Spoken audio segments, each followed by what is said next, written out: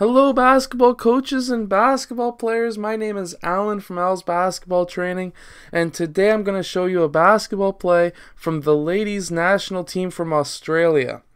So, in this Horns basketball play, player one, he is going to, or I should say, she is going to pass to player five. Player one will then cut down to the low block, and five is going to dribble out to the three point line.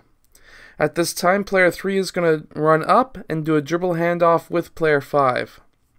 At this time, he's going to use 5 as a screen. 5 is going to pop out to the three-point line, and 4 is going to pop up to the three-point line, and 2 is going to run up to around the free throw line extended. 3 is then going to pass the ball to player 4, and 1 is going to set a screen on player 5, and he and she is going to go down to the low post. 4 will then pass to player 2, who will then have the option to pass to player 5 in the post, and hopefully, what we hope to happen is there to be no defense in that low post.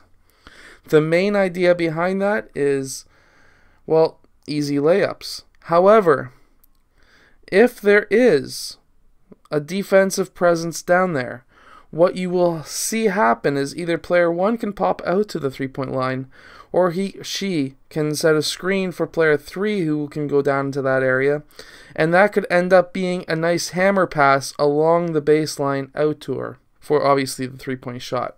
I hope you have enjoyed today's video. Please like and subscribe if you did like it and I will see you guys next time.